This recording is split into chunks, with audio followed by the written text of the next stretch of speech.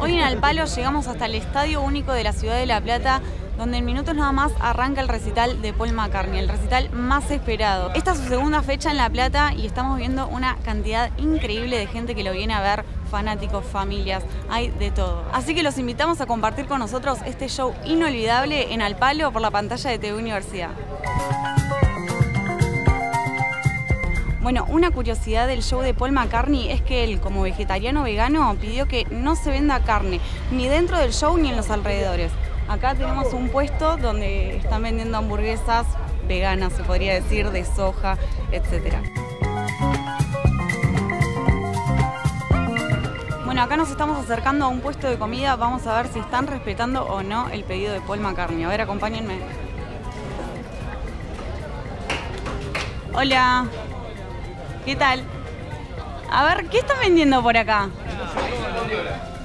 ¿Ustedes saben que Paul McCartney, al ser vegetariano o vegano, pidió que no se venda carne alrededores? Tenemos berenjena. Ah, bueno, bueno, un poco lo cumplieron. O sea, para el que no quiere, para el que no quiere comer carne, tiene una alternativa, digamos. ¿Tiene berenjena, por supuesto? Bueno, acá los muchachos que van a comer berenjena o chori. Chori, bondiola. Una bondiola, un pedazo buen de carne. ¿El público de los Beatles es, es peligroso o no? ¿Cómo que no va a pagar? Es, es un poco peligroso. Vamos a preguntarle a los chicos a ver si el chori es vegano. Hola chicos, ¿cómo están? Bien, ¿y vos? Bien, ¿qué están comiendo? ¿Un chori? En realidad es bondiola esta. Bondiola. ¿Vegana? ¿Es vegana? Ah, muy bien. Están respetando con lo que pidió Paul. Estamos respetando, somos poleros nosotros. Bien. ¿Ustedes creen en la leyenda de que Paul McCartney está muerto, que no es el mismo del que estaba en los Beatles? Seguro, este es el mellizo. Tiene un par de rasgos, sí, tiene un par de rasgos que son distintos.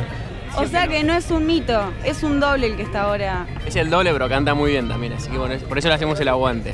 El otro era carnívoro. Eso dicen, ¿no? ¿Y qué, qué diferencias hay entre este y el otro? Tiene un par de rasgos ahí cuando canta, un guiño que hace cada tanto. Ya lo van a ver, presten atención. ¿Y el doble cómo se llama? Federic. ¿Y cómo, cómo lo consiguieron? ¿Eh? ¿Cómo lo consiguieron? Porque no se consigue un doble de un tipo así. tan- un tanto no sé, no estaría acá si supiera, si supiera tanto, pero bueno, es, es el mito. Bueno, estamos acá con Gustavo, vamos a hacerle un par de preguntitas. ¿Cómo estás? Hola, ¿cómo estás? Bien. Bueno, a ver, viniste al show, sos fanático de los Beatles, ¿hace cuánto te Sí, gusta? hace 20 años, 30 fácil. ¿Y es la primera vez que lo venís a ver? No, ya lo vi en otras oportunidades. Sí. Bueno, ¿y en dónde lo fuiste a ver? Lo vi en Londres y lo vi en Las Vegas. Ah, muy bien. ¿Vos viviste la época de los Beatles? ¿Lo, eh, No. ¿lo escuchabas desde ese momento? No, ¿O no, después. fanático más adelante? Después, después. ¿Y cómo fue la- el encuentro? Eh, por mis padres y mi hermana mayor. Mi hermana mayor sí era fanática y bueno, yo cuando estaban los Beatles era muy chiquito todavía, aunque parezco más grande. Digamos que te criaste en el ambiente de los Beatles. Totalmente, sí. ¿Y qué fue lo primero que escuchaste? Eh, Imagine de, de John, eso fue lo máximo, el himno. Pero después, de, de- ¿cómo, cómo- cómo lo escuchabas? Digamos, ¿En tu casa había discos? Discos, ¿Escuchabas de- discos, discos de fiestas, pasta, discos, el tocadisco típico. Y bueno, así se pasaba. Mis hermanas se volvían locas con esto. Entonces, bueno, yo era más chico y la seguía. Así, Así nació. Y acá estamos. Y llegó hasta el día de hoy que lo vas a ver. Solo voy a ver, sí. Llegó Muchas gracias.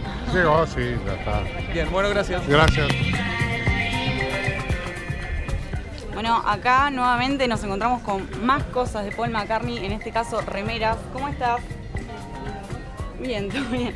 ¿Qué precio tienen las remeras? 180 del talle del talle 2 al talle doble XL.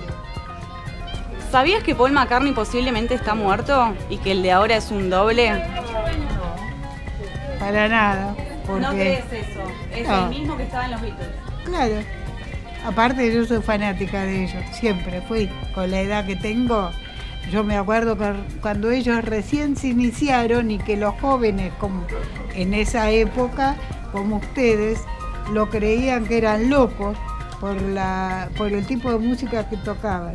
Y fueron tan inteligentes que ellos en tan poco tiempo, ellos eh, surgieron, eh, la música de ellos eh, atrapó a, yo creo que al mundo en esa, en esa época.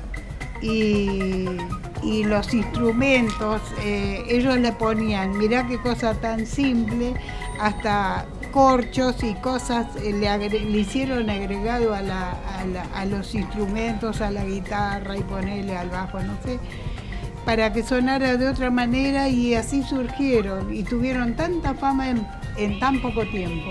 Fue toda una revolución. Sí, sí, totalmente, totalmente.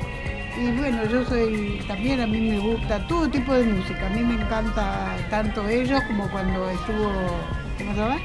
Los Rolling y músicas anteriores. Yo con la edad que tengo, tengo 76 años. Así que a mí me gusta todo, todo tipo de música. Tanto en, clásico, vamos a decir, en todo, todo tipo de música.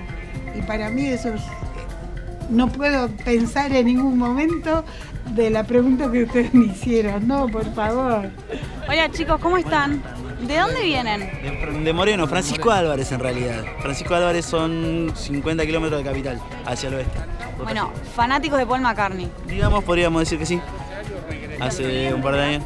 Y yo escucho los Beatles de los 10 años, más o menos tengo 25, 15. Unos cuantos años largos. La primera vez que escuché los Beatles, mi vieja me regaló eh, Yellow Submarine en cassette para mis 10 años. Me regaló un grabadorcito y un cassette y ahí fue que empecé a escuchar los Beatles de esa época. Criaste con muy buena música, porque criarse con los Beatles la verdad que es importante. Sí. Eh, sí, estuvo muy bueno, no sé. Bueno, ¿y qué hacen acá que todavía no entraron? Eh, lo mismo que hacemos en todos los recitales. Venimos a probar suerte y así entramos en Gilmour, en Aerosmith, en Racing en Independiente. Racing Independiente patio. por 30 pesos que nos salió un patio. Bueno, espero que tengan la suerte de poder entrar, así que les deseo toda la suerte, chicos. Muchas gracias. Muchas gracias. Muchas gracias. Hasta luego.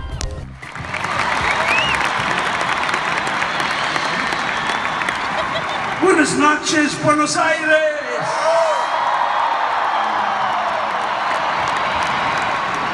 ¿Qué onda, che?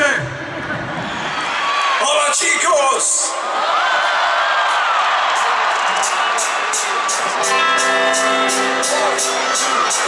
Can't buy me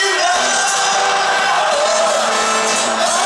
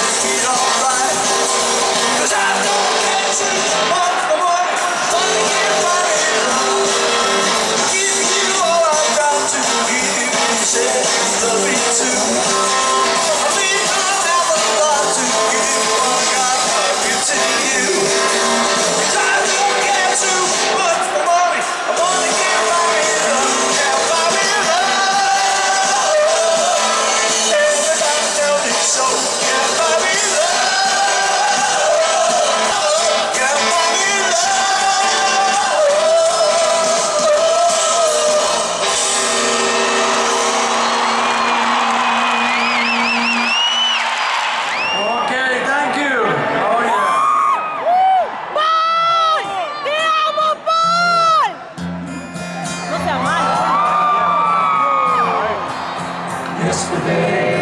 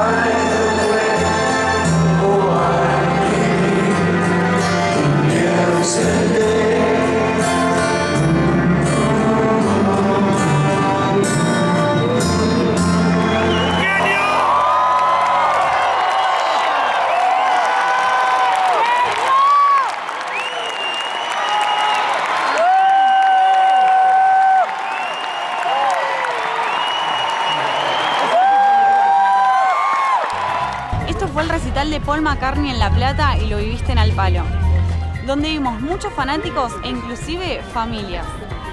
Donde también le preguntamos a la gente a ver si creen o no en la leyenda de que Paul McCartney está muerto o es un mito. Donde viste que también se vendieron choripanes y bondiolas y que con esto no se respetó el pedido de Paul McCartney de que no se venda carne en el show ni en los alrededores. Espero que hayan disfrutado de este programa tanto como nosotros y nos volvemos a encontrar en el próximo programa de Al Palo por tu Universidad.